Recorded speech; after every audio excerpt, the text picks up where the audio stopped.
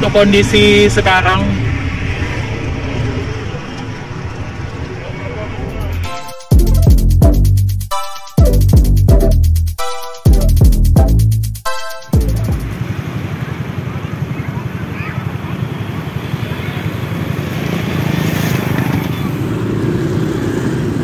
Di jembatan pasar lama.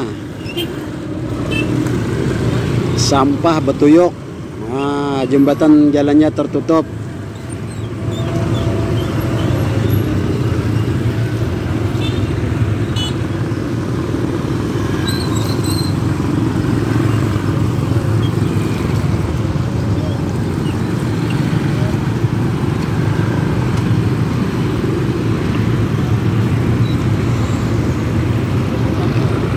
Camuh sudah penataan kota Banjarmasin.